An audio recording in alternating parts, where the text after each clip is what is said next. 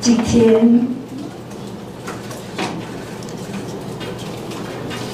必须在大家的面前揭开这个真相，对自己而言是一个非常非常难的决定，他要有很大的勇气，因为我从小就是一个个性温和、非常与人为善的人，而今天要在所有的媒体之下。公开这三年多来，我可以说一再的忍耐，到最后甚至生病，连续打了十天的抗生素才控制住。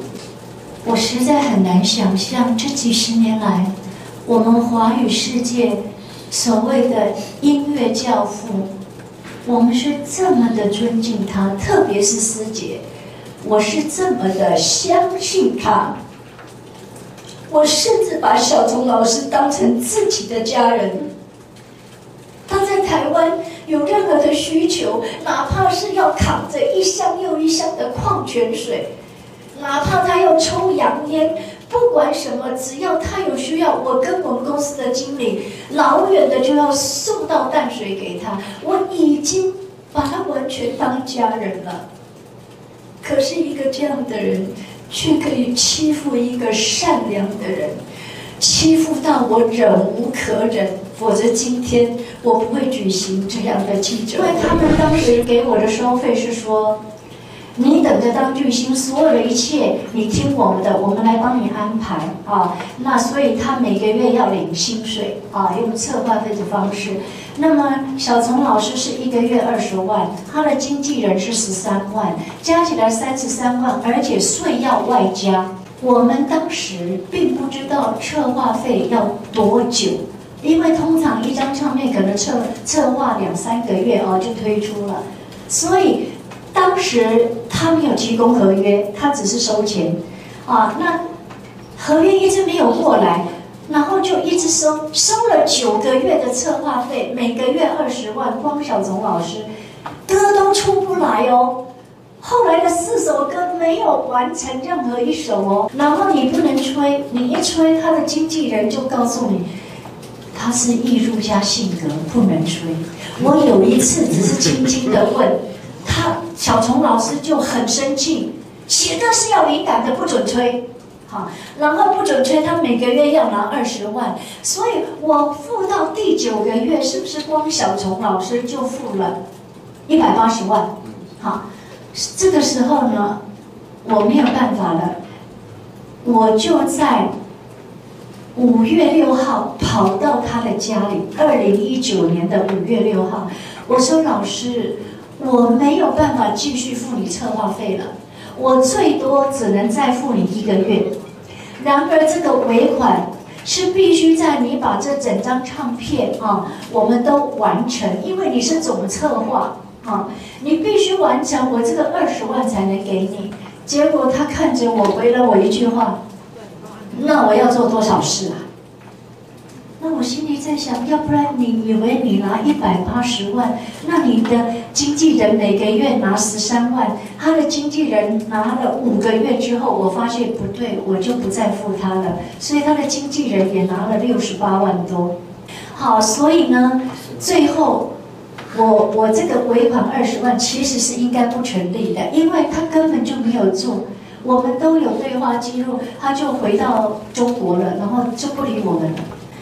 当时呢，我们在进行的时候，小虫一直说：“师姐，你无论如何不要告诉别人，我在帮你做专辑，因为这样等公开的时候才会有惊喜。”那我就是一个很听话照做的人，我都没有讲，我的家人也都不知道。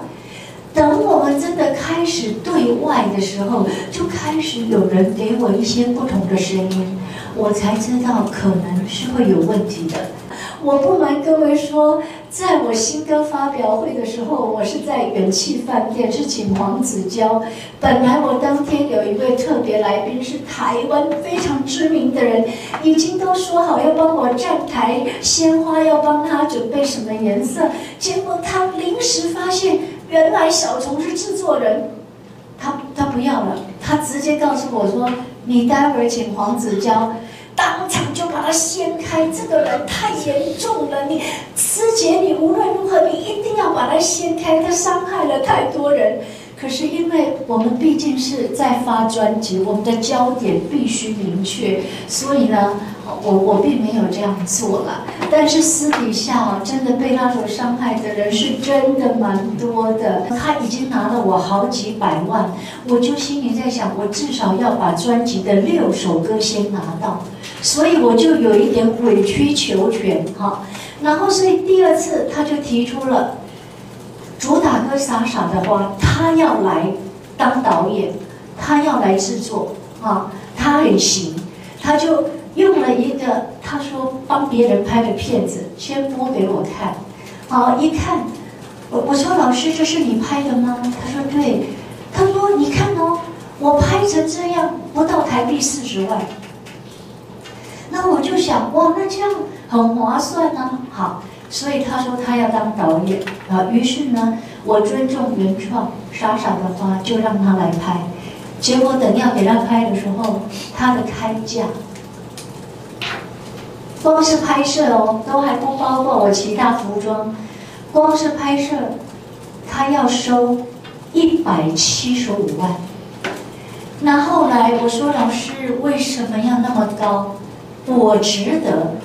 他他。的用法就是跟他的经纪人一搭一唱，他一开始都会先否定你找的人太贵了啊！你现在要给年轻人机会，他们又便宜啊，又符合潮流。好，那等我接受了他的讲法啊，然后他就开出他很高的价钱。然后当我问说老师为什么要这么高，就告诉你三个字：我值得。我是大师，当时滚石有哪几位歌手，都是我完全连 pose 怎么摆都是我教出来而大红特红的。我们曾经也寄诉讼状给他，但是如果各位有看到那个诉讼状，如果当事人是你，我想你可能会气到。我只讲一点，他第一项就是说。大龄女子出片不易，本人用我所有十几年的演艺圈关系，因为他资金不足，他居然不知感谢，说我不知感谢。各位，我很少话讲这么重，但如果你要我形容小虫老师这个人，我只有八个字：虚假、傲慢。